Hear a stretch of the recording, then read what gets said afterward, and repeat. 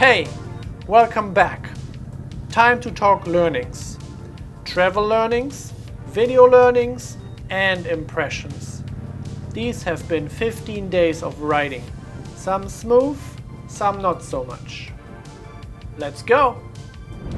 You see, I'm not happy.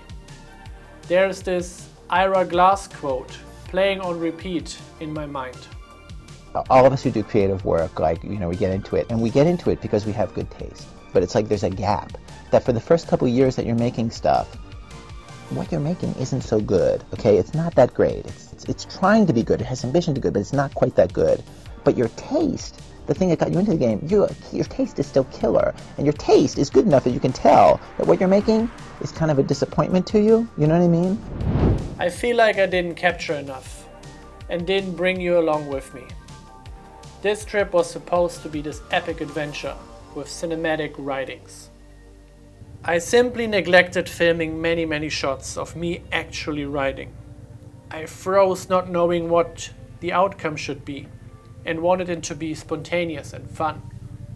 I planned it loosely and had pretty good writing days. I've seen so much, but was not particularly great at pointing the camera during the right time. I'm not sure how to do that yet, and relax at the same time. You gotta know it's totally normal, and the most important possible thing you could do is do a lot of work. Do a huge volume of work. Put yourself on a deadline so that every week or every month you know you're going to finish one story. Because it's only by actually going through a volume of work that you're actually going to ca catch up and close that gap. And your, the work you're making will be as good as your ambitions. It takes a while. It's going to take you a while. It's normal to take a while, and you just have to fight your way through that. Okay? Yeah.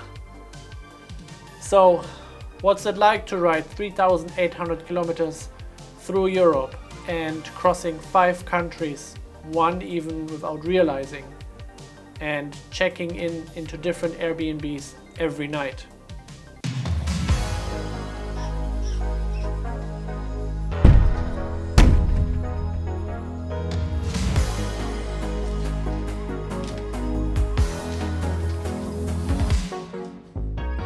Last time I had just left Bologna, where, by the way, I had a great time. I had pizza and wine, went to the movies and saw Inside Out 2. You know, I do love to go to the cinemas in different countries. It's just an interesting experience for me. Italy overall was fine. Venice, Verona and Milan were alright.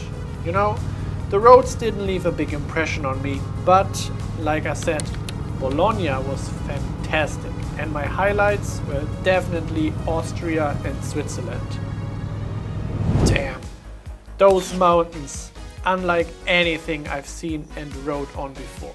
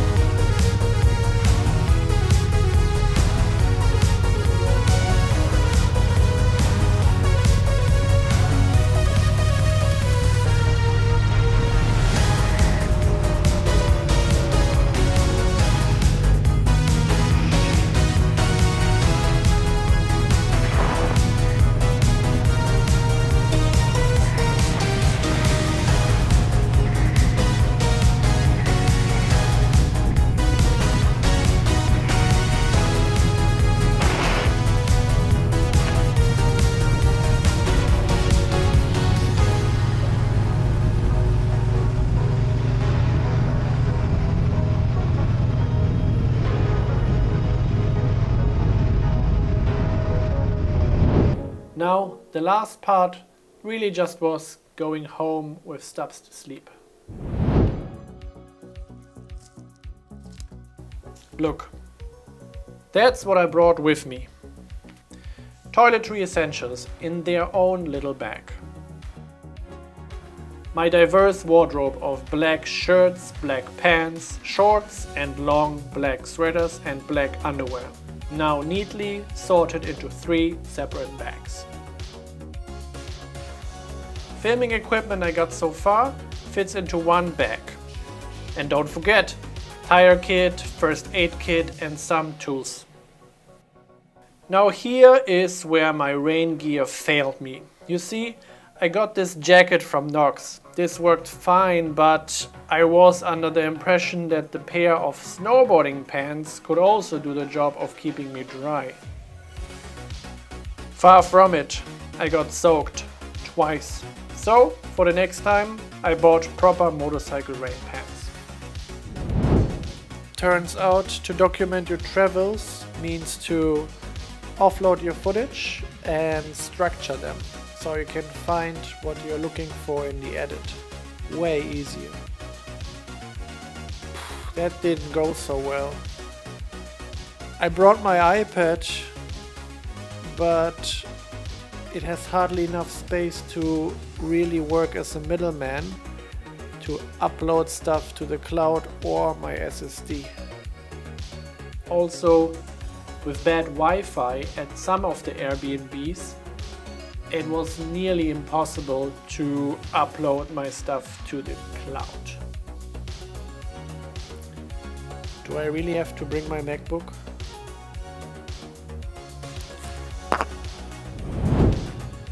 In the end, I want to enjoy the trip and because that whole filming thing is all new to me, I sometimes skipped it altogether.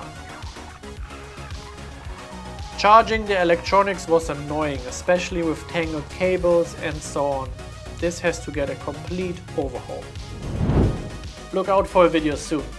I want to organize and build a charging station for my gear here at home and make going on trips like that easier as well as just being able to grab stuff fast and film.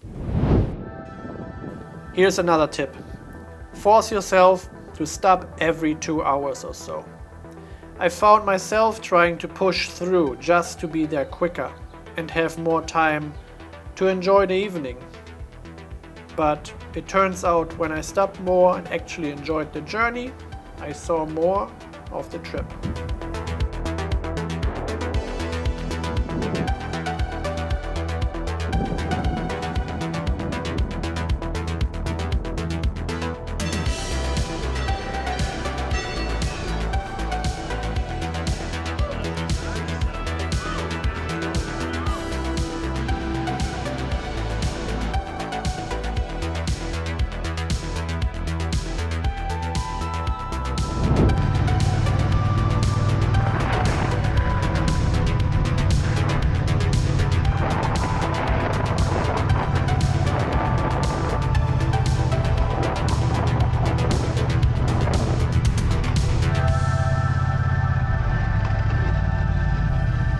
Overall, this has been 15 days of travel.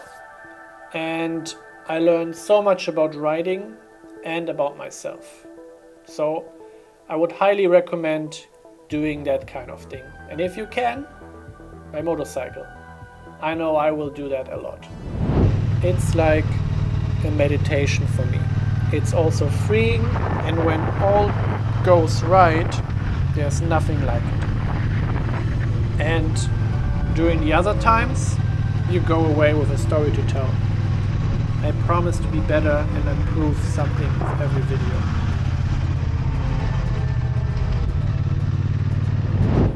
Join me here on YouTube with a subscription and your feedback. I love hearing from you. So, where to next?